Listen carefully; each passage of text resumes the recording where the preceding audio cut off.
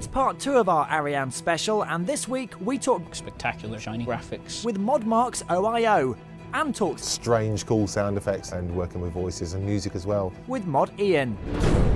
When we began working on Ariane, uh, the Wizard's Tower, we knew that graphically we wanted to make something look spectacular that really did the story justice. We worked with John A. on the original concepts for the Ariane quest. Uh, he gave us ideas on what the characters should look like.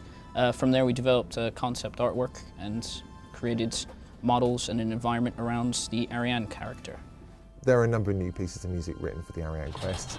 Uh, we wanted the place to have its own feel and atmosphere, so it was important that we did this. It's quite challenging to get the right feel for an area, um, so I was looking for somewhere like a very quiet kind of library or university with maybe some little sort of mumblings and shuffling of feet. And then I mixed those together with some kind of magical twinkles and ambience and various bookshelves that are moving around and people walking around. And the whole place feels like a kind of an unusual sort of magical library, hopefully. The end result of the Ariane quest, the Ariane character in particular, looks really cool. And the environment that the quest takes place in is something that we sort of push the limits for. There is something that I haven't really seen in RuneScape before. It's a giant beam of light going down multiple levels in a tower. And as if that wasn't enough, there's like a character being levitated in the beam of light. So I, I didn't think that would actually work, but we pushed the limits and kind of made the engine work for us to overcome some of the, uh, the difficulties we had with the Ariane quests, uh, primarily with getting the special effects to work with the environment. It's just a case of doing it like again and again, trying to test out different methods just to see what would work. In the end, it was just a result of a lot of trial and error. So I think the overall effect is pretty spectacular. I really like it when areas are, are remade in RuneScape because it breathes new life into an area and I think the audio can add a lot to the experience at that point. I really enjoy it when I can see great graphics and it means I can make cool sounds to fit an area.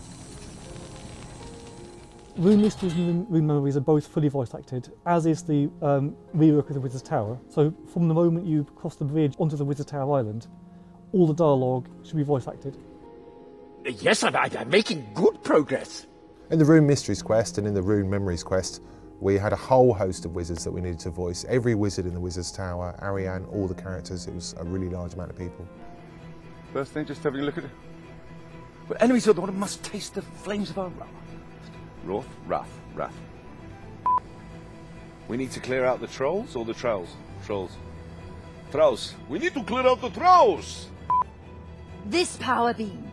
So, Calivan's idea worked.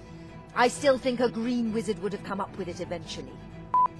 Oh, oh. oh we really liked the person that we chose for Ariane's voice because I think she's very believable as a real person and she's got the right mix of intelligence and an interesting wizard type. I think I'm close to finding out what happened here.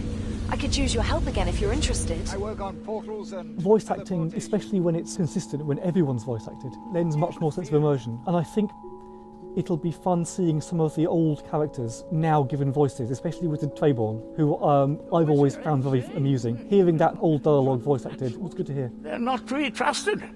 That's what I've heard, anyway. The best thing about working as a character artist is I basically get to make crazy, cool, over-the-top stuff like swords and goblins and monsters, and I get paid for it. So I get to make really cool magical sounds. There's really crazy wizards in there. There's, there's fools, there's demons, there's magical spells. I mean, what more do you want from a, a sound design point of view? Making things that I'd probably want to see as a game player myself is pretty rewarding. I think we've really hit the nail on the head with this quest, and uh, after viewing the comments from last week's behind the scenes video, I think the community agrees. The brink of extinction is the climactic conclusion to the TzHaar Quest storyline, and next week we go behind the scenes of this Grandmaster adventure to find out more.